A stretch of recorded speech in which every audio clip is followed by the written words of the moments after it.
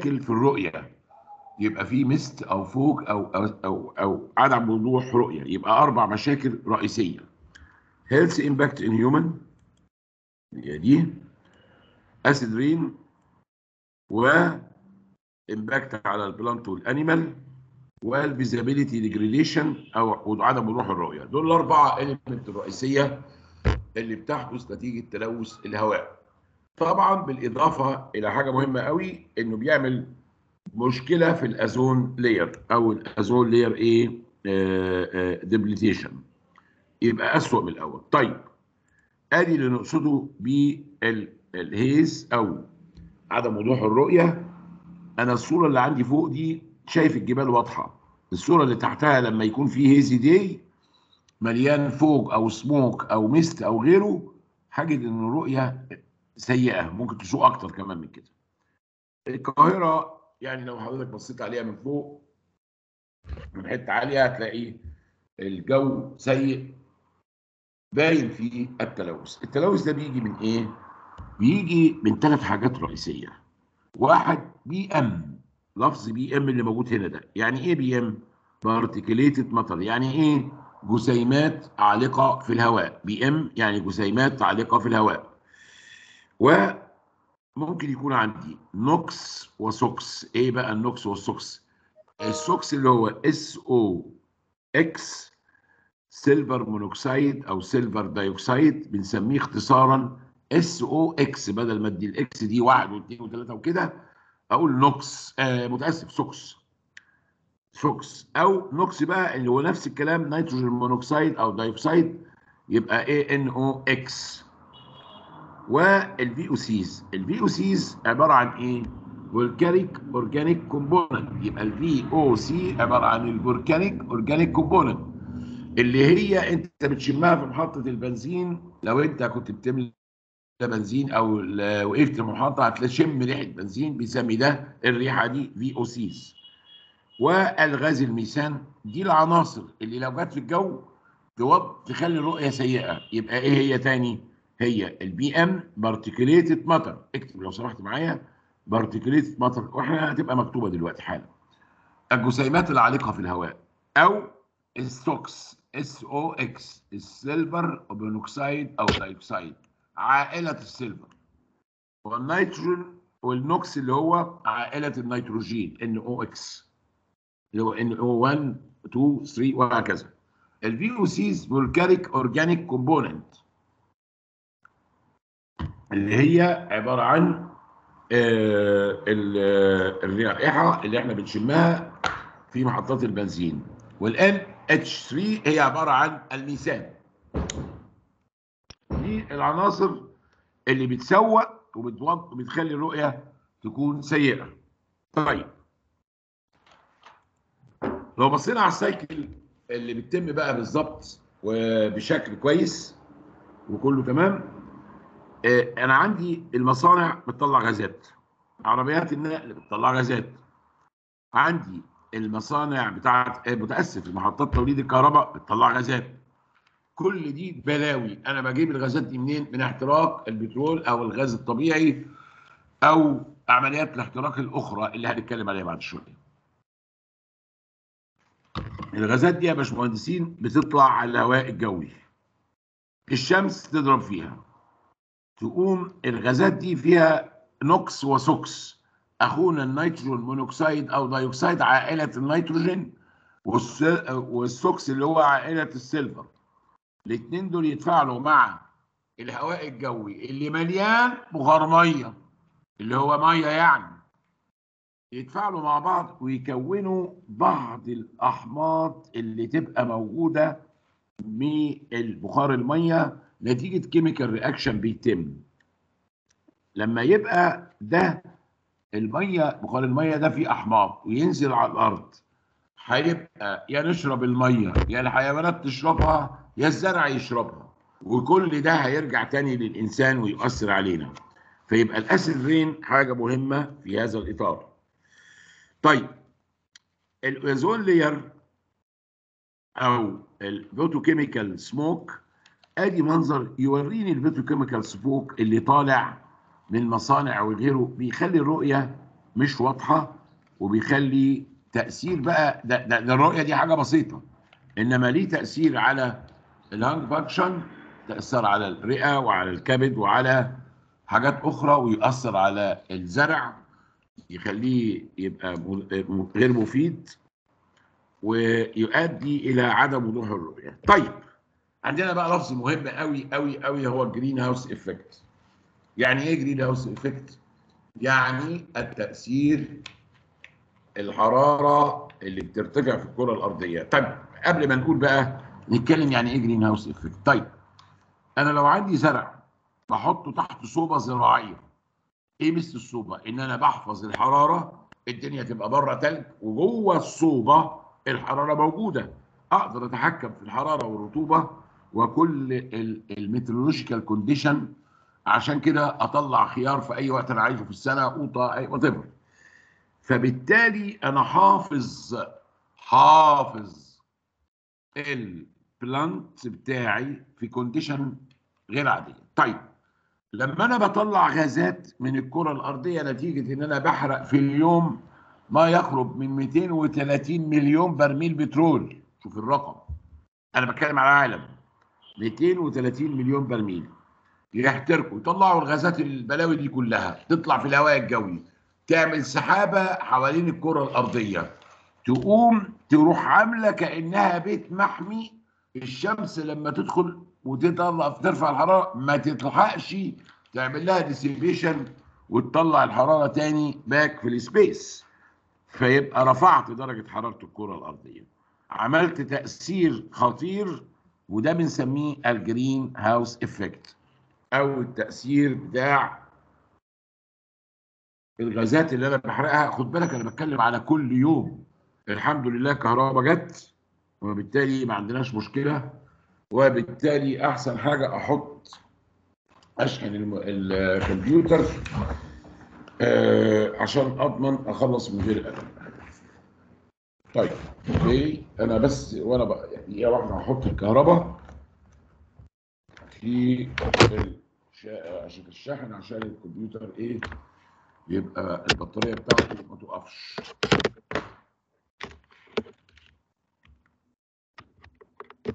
مم.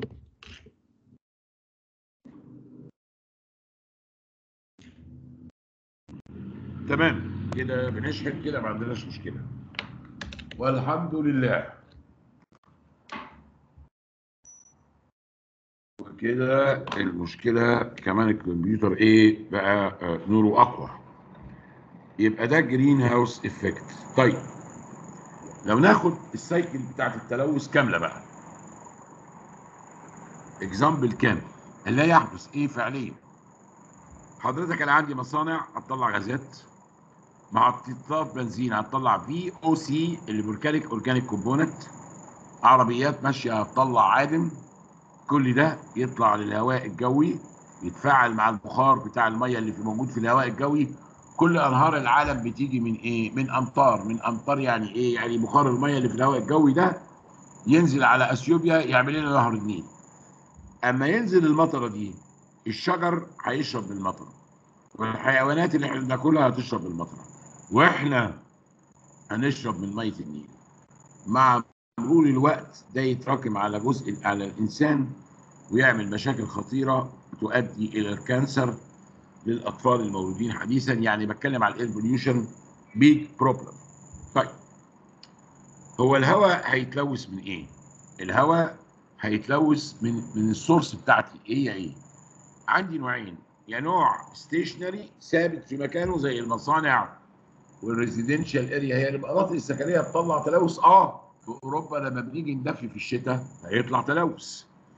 وبعدين mobile source زي العربيات اللي ماشية بقى في الشارع وبتنتقل من مكان لآخر وهكذا. طيب أقدر أقسم ال emission type إلى man made و natural طبيعية وصناعية. الصناعية اللي إحنا بنتكلم عليها اللي إحنا عاملينها. والطبيعية اللي هي البرق والرعد والمطر والحاجات الطبيعية اللي إحنا مش لناش دخل فيها. الطبيعية طبعا ليها تأثير. لكن إحنا ما بنقدرش نعالجها. لكن أنا أقدر أعالج ال man made اللي هي يا stationary source يا إما mobile source يا إما محطة زي بتاعة الكهرباء دهيا دي stationary source. والعربيات وهي ماشية ده example لل mobile source. طبعا ال mobile source يندرج تحتها الطيران بكل أنواعه. طيب إحنا okay. في عندي كمان primary pollutant و secondary pollutant يعني إيه؟ لما بطلع الغازات ده ال primary لما بتتفاعل مع الهواء الجوي وتطلع أحماض ده secondary pollutant بيبدأ إيه؟ آه يأثر عندي.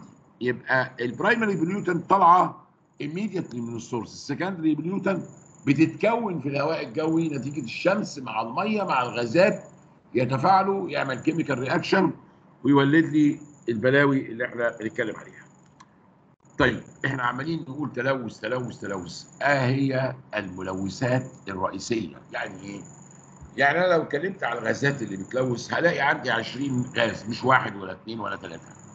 طب إحنا هناخد أنهي فيهم؟ هنتكلم على أمريكا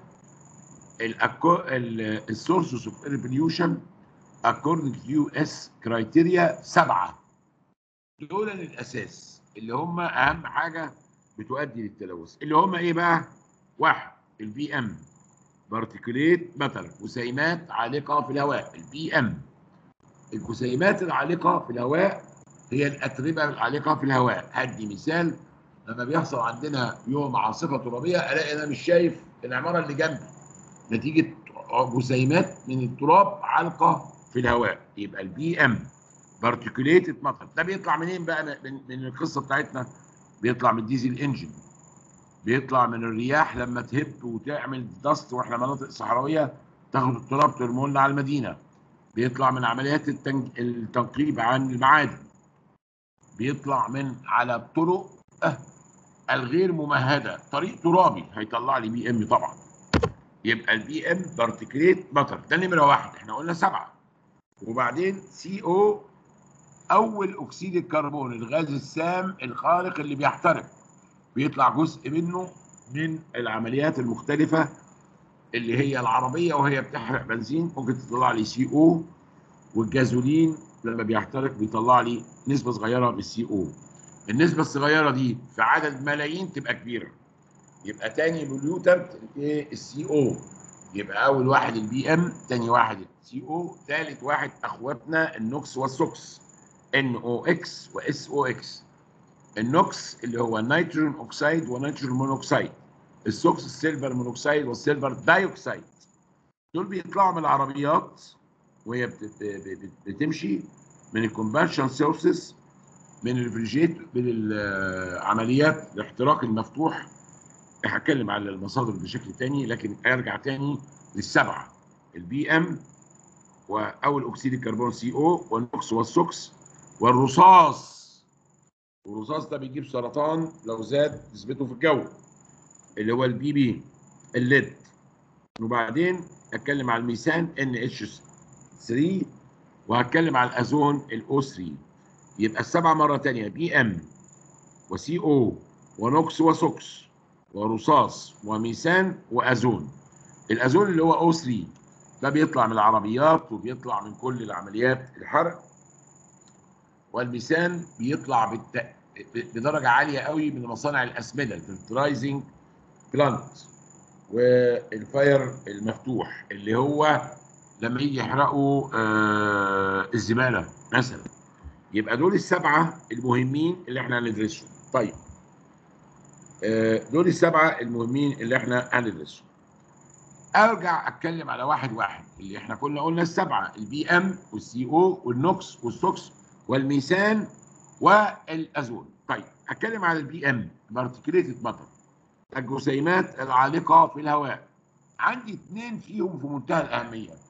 PM 2 ونص و PM 10 أقول الأول العشرة PM 10 ال PM 10 ده جسيمات عالقة في الهواء حجمها 10 ميكرون اللي اما قلت PM 10 اللي حجمها 10 دي هي اللي بتسوء الرؤية قوي. لو زاد وزنها عن كده هتقع على الأرض مع مرور الوقت مش هتعمل تأثير. ال PM 10 هو اللي بيأثر في الرؤية بشكل كبير. طيب PM 2 ونص PM 2.5 ده حاجة مهمة قوي لأن هو بيبقى ده بيدخل على الرئة على طول. الشعيرات اللي في المناخير ما بتوقفوش بيعدي. فيبقى P ال PM عندي اثنين فيه مهمين قوي PM 10 و PM 2.5 ده بيدخل على الرئة والتاني بيخلي رؤية سيئة.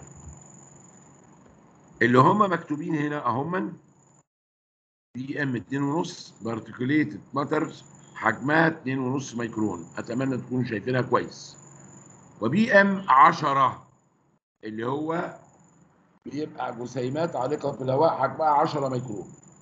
دول أخطر اثنين طيب عندنا لفظ تاني آه عندنا tot TSP. total suspended particulate يعني انت لو جبت طبق ورحت وزنه وبعدين سبته أسبوع في مكان ووزنته بعد أسبوع هجد الوزن زاد. الزيادة دي الأتربة اللي رسيت على الطبق ده في خلال الأسبوع. اللي هي لو وزنها أنا هبالغ وزنها 500 جرام يبقى 500 جرام على السبع أيام. على اليوم 24 ساعة يبقى أقدر أجيب كل ساعة تراب بيسبق بيجي على الطبق قد إيه؟ أنا بقول طبق و و عشان أقرب لك ال total suspended particulate أو TSP اللي هي إحنا بنحتاجها. يبقى عندي في ال PM ثلاث ألفاظ PM 2.5 PM 10 TSP total suspended particulate طيب. وبعدين؟ وبعدين ال PM ال size بتاعه بيؤثر على الرؤية زي ما اتفقنا بشكل كبير. وده بيجي من مصادر حرق كتيرة. كل ال mechanical action بتطلع ال PM 10 يعني في عمليات الإنتاج ال grinding operation وال turning وغيره بيطلع هذا الكلام. طيب okay. ده لل PM. ال sources بتاعتنا مكتوبة هنا بوضوح. Process industrial commercial residential, residential fuel consumption. Wind blown re-entrained dust from vehicle and traffic on roads open burning اللي كنت بقول عليها الحرق المفتوح اللي بيتم في المناطق الزراعية وال natural sources اللي هي ال volcano اللي هي البراكين طبعا بتطلع بس يعني ما نقدرش نتحكم فيها بشكل كبير. طيب العربيات طلع ادي الحرق المفتوح الحرق المفتوح ده عندنا في مصر كتير في بعض الأحيان محطات الكهرباء كل دي مصادر بتطلع هذا الكلام. طيب تاني نوع من السبعة كان أول أكسيد الكربون السي أو اللي إحنا بنتكلم على السبعة point pollutant بالتفصيل. كان أول حاجة ال PM تاني حاجة ال CO أول أكسيد الكربون. اللي بيطلع من عمليات الحرق وتأثيره على الصحة سيء جدا ده طبعا بيمنع الأكسجين وممكن يبقى سام لو كمية كبيرة تعرضت لها ويؤدي إلى الموت. يعني بنتكلم على حاجة بلوى يعني.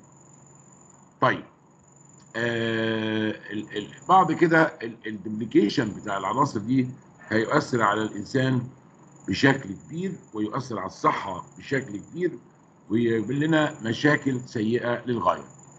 ال VOCs اللي أنا قلتها مرة وهقولها تاني volcanic organic component اهي. البركان ال VOCs دي حاجة مهمة قوي volcanic volatile organic component اللي هي اختصارها VOC دي بقى جاية ادي محطة بنزين. لو انت وقفت هنا هتشم ال VOCs زي الفل.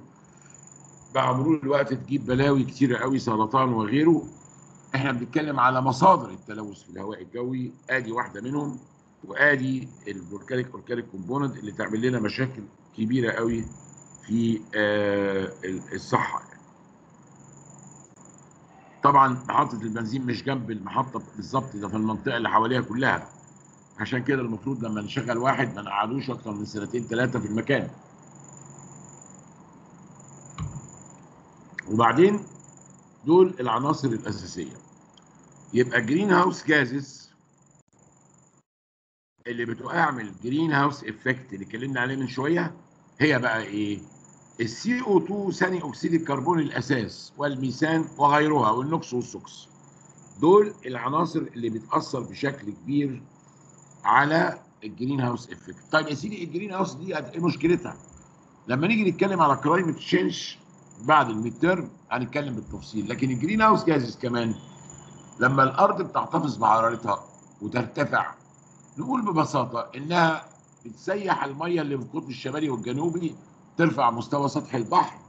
لو رفعته لي متر متر ونص عدة مدن هتغرق تغرق وتختفي تحت المية. إحنا بنتكلم على كارثة. طيب هي ممكن توصل لكده؟ آه. ممكن توصل لكده. ال projection أو ال prediction أو التوقع إن إحنا بنزيد 3 درجات كل 100 سنة الكرة الأرضية بتزيد 3 درجات كل 100 سنة. ده رقم كبير جدا. يعني في 200 300 سنة 9 درجات يعني هغرق نص الكرة الأرضية.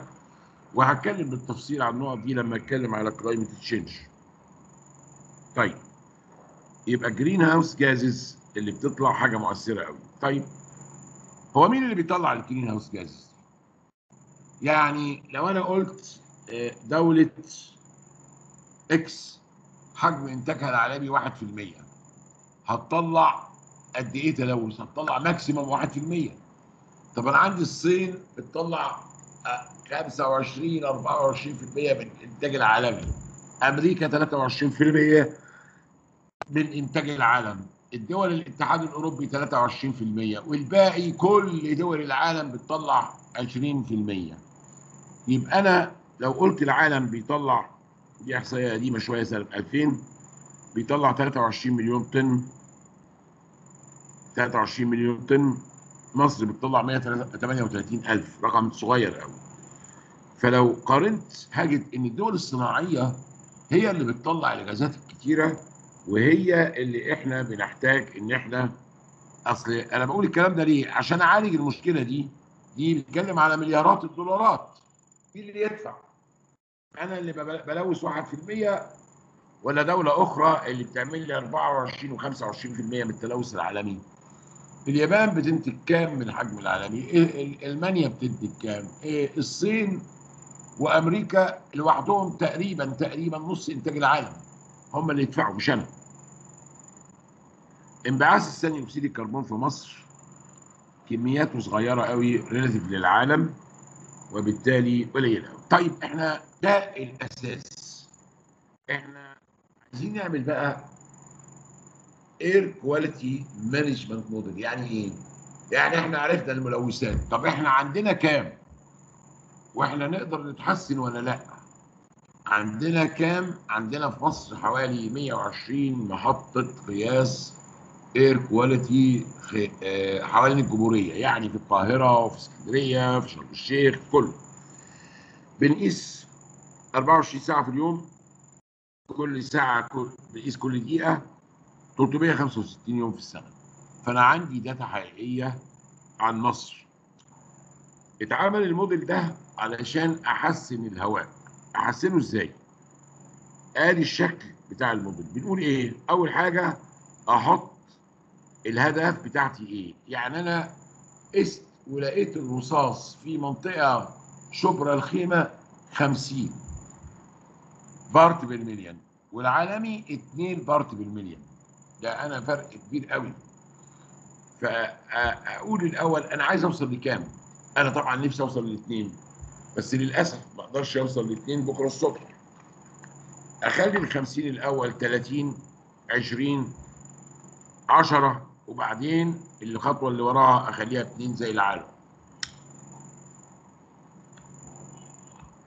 فنمرة واحد establish and consider goals. أنا عايز كام؟ وبعدين آجي. الريدكشن المطلوب قد إيه؟ من 50 عايز أخليها 20 هو المصادر بتاعت الرصاص دي إيه وإيه وإيه وإيه؟ آه، مصانع البطاريات مصانع ال- ال- الكريستال مصانع كذا كذا كذا كذا. هل أقدر أقلل ال emission بتاعت المصانع دي؟ yes أستخدم technology مختلفة. وده هيكلف 100 مليون جنيه أو دولار. أعمل implementation لهذا الكلام. أنا قلت هستخدم technology مختلفة.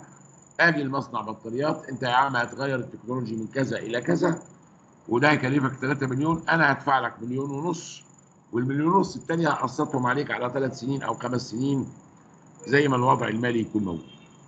بعد ما أحط ال implementation دي أقيس تاني evaluating لقيت إن أنا بعد ما كنت 50 بقيت 40 أكمل ال loop وأعيد الشغل تاني لحد ما أوصل لل 20 أو ال 10 أو الرقم اللي أنا عايزه.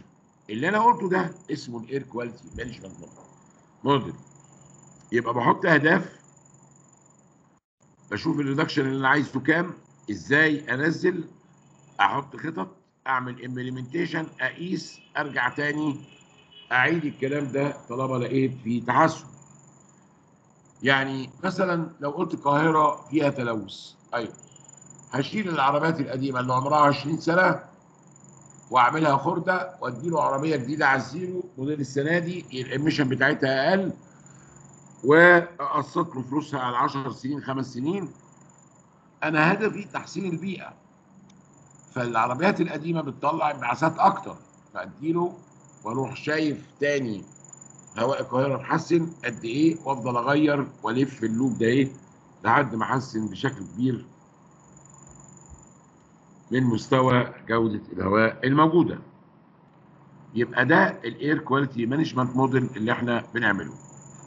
طيب يبقى ال air quality management model establish الأول ال environmental goal determine what reduction can be done how to achieve that implementation evaluation revised وافضل الف في ال loop ده طيب ده الموديل اللي إحنا بنأدي بيه تحسين الهواء وده اللي بنعمله. انت تقدر لو احتجت تقرأ ال further reading ده اهي هتكلم على أهم حاجة مهمة فيها. آه،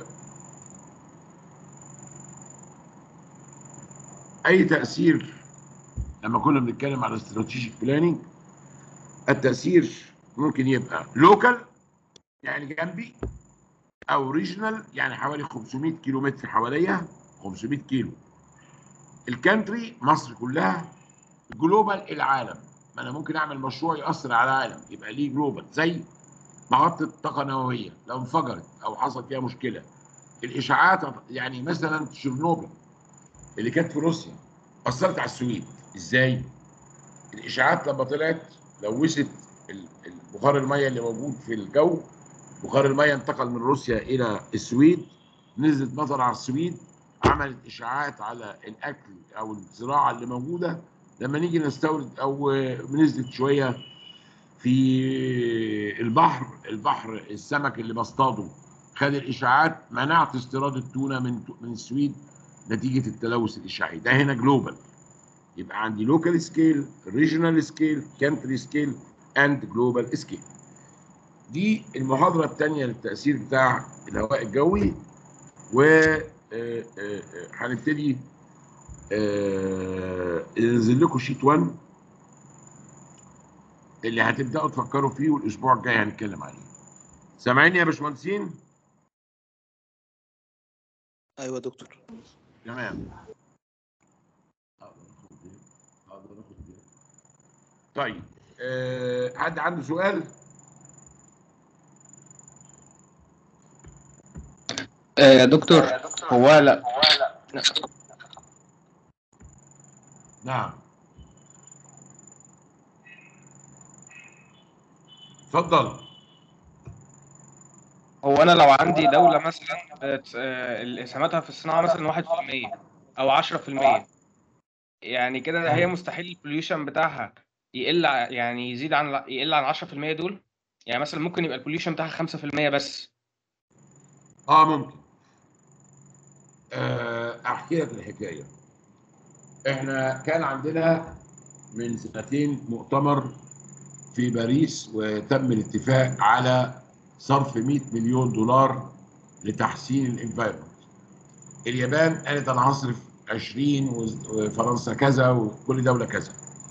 بعد ما اتفقوا ده كان هيؤدي. آه ممكن دولة تكون بتطلع بتاخد 20% من حجم العالم ونتيجة اتباعها سياسات الخاصة بالانفايرمنت يقل انبعاثاتها 10 و15% آه ممكن. بس الموضوع بيبقى صرف فلوس ومعالجة. تمام. وبالتالي ممكن. آه. إحنا لو اتكلمنا على الموضوع ده أجد إن راحت آه، أمريكا بعد ما كانت في عهد أوباما موافقة على الاتفاقية بتاعت باريس وكانت هتدفع أظن 26 مليار دولار لتحسين ال environment ال emission بتاعت أمريكا راح ترامب انسحب من المعاهدة بتاعت باريس وبالتالي مش هيدفع الفلوس وبالتالي البيئة مش هتتحسن فيها. القضية دي أنا بقولها علشان انبهكم إن أنا مش الملوث الأول في العالم. إحنا لما بنعمل محطه كهرباء في مصر لما أستخدم الغاز الطبيعي بقلل ال emission عن ما أستخدم البترول. فدي حاجة positive مش negative. لما أنا أعمل محطه طاقة شمسية أنا بقلل ال emission. لما يجي يقول لي إنك أنت آآ آآ في في العالم حاجة اسمها كاربون كريدت إيه هي اللي يعمل حاجة تحسن البيئه أديله فلوس أديله 3 7 10 مليون دولار طبقا للمشروع. لما مصر تعمل محطة طاقة شمسية الجهه اللي مهتمه بالبيئة اللي هي المنظمة ال United Nation يعني تدي مصر carbon credit 10 مليون دولار تديها 10 مليون دولار كاش عشان أنا أنا ببسط الموضوع قوي على فكرة. عشان أنا هعمل محطه طاقه بالشمس طاقة شمسية هتولد كهرباء لمنطقة أسوان وتخلي الناس بدل ما تعمل محطه طاقة بالوقود تعمل طاقة شمسية اللي ملهاش ملوثات أديله فلوس. مين اللي هيدفع الفلوس دي؟ هنا القصة بتاعت باريس كانت إنه كل دولة تدفع أجزاء عشان تحسين. لما نيجي نقول إنه أنا عندي مصانع أسمنت أنا بتكلم على العالم مش على مصر. عندي مصانع أسمنت ممكن يستخدم تكنولوجيا wet ويقلل ال emission الكلام إنه يستخدم wet ده ب 100 مليون مين يدفعه؟ لما تكون الحكومة الأمريكية مصانع الأسمنت اللي في أمريكا هتدي له subsidies بدل ال 100 مليون هدفع لك منهم 80 يبقى ده هتشجعه على إنه يغير التكنولوجيا بتاعته ده ببساطة شديدة. اللي أقصده بال carbon credit أو ال system بتاع الكلام اللي أنا بقول لكم ده حصل مش مش مش مش مش لسه بي بيتناقشوا فيه. ده حصل. واللي منكم يتابع في الجمعية العامة للأمم المتحدة اللي بيتم كل سنة بعدها مباشرة بيبقى في مؤتمر للأرض اللي بيناقشوا اللي أنا عمال أقوله ده. أنت تدفع كام وأنا أدفع كام وأنت تدفع كام وتديني كربون كريدت إزاي ونعمل ده إزاي والكلام اللي إحنا بنتكلم عليه ده. معايا؟ آه تمام. الم- الموضوع كبير ومعقد يعني. لا لا مش معقد ولا حاجة. أنا الحقيقة عشان أكون أمين معاكم. أثرت ليه عشان لا يتهم الدول العالم اللي هي بتقول يا هادي وبتحاول تعمل صناعة بإنها اللي بتلوث. لا يا حبيبي. أنا من الأربعينات والخمسينات أمريكا بتنتج ربع إنتاج العالم للمده دي كلها. هي اللي ملوثة مش أنا. أنا بنتج قد إيه؟ أنا عندي صناعات سيارات زي أمريكا أنا بنتج. في اليوم مليون عربية. لا يعني أنا أقصد بيها إن ننبه إلى خطورة هذا الكلام. الموضوع معقد وبيتم في مفاوضات طويلة لأنه فلوس. مين هيدفع؟ واخد بال حضرتك؟ آه. ماشي. ده الجزء الثاني من الايه إحنا هننزل لكم sheet 1 على ال team مؤقتا لحد ما LMS system يبقى شغال. هنزله لكم على الاثنين وهبدأ أتكلم المرة الجاية في الجزء الثالث وال sheet بقى. okay يا باشمهندسين؟ تمام. طيب. آه، حد عنده سؤال؟